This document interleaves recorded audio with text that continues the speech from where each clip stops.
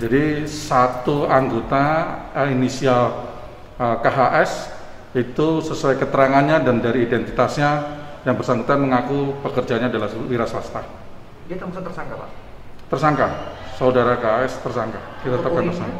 untuk urinnya Pak, apakah dia positif gitu, juga? Negatif yang bersangkutan.